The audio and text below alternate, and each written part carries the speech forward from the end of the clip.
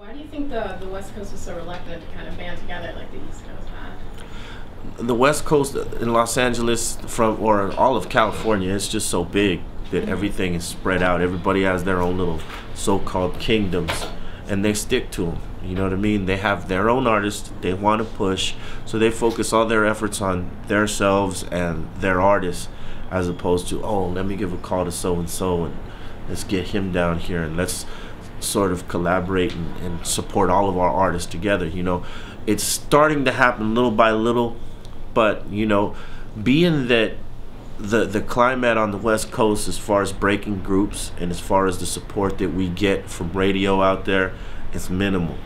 So everybody concentrates on trying to make their shit pop because, as it is, you know, our our radio stations support more East Coast and and uh, Southern artists more than they do their own artists, and that's a fucking shame. But that's the way it is. So that kind of keeps everybody divided.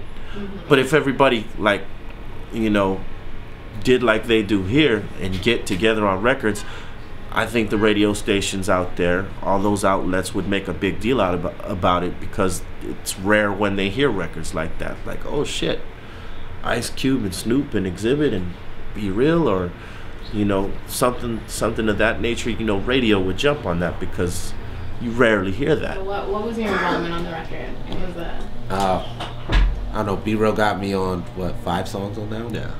Yeah, so just really getting in there and bringing that new, fresh, you know, young blood. I mean, B Real can tell it the best. You know how we met was kind of crazy, and just you know our vibe. Like it's it's audio hustle, man. Till the casket drops right now. That's how we ride now. So just a lot of real good, uh, you know, youthful energy on the record. A lot of spitting and a lot of you know just ideas, man. You know, coming from my perspective. Nice.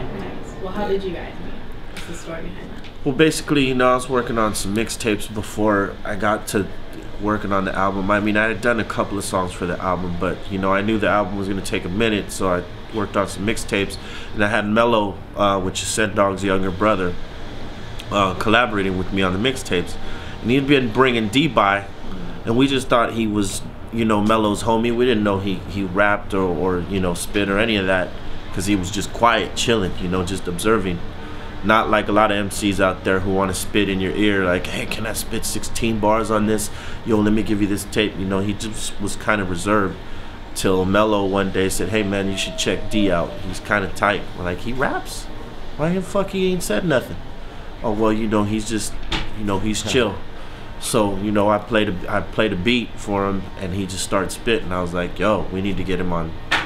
Here, pull up this song right now and you know that's it just started from there and you know like he said he started to incorporate a lot of you know fresh young blood new ideas and stuff like that stuff maybe i wasn't thinking about you know and i whenever i do any kind of music with anybody i put my ego aside because you don't know everything as an artist no matter how long you've been in the game you know what you know but that's not everything you continue to learn and continue to experience new new things. You know what I mean? So what he brought to the table was new and fresh.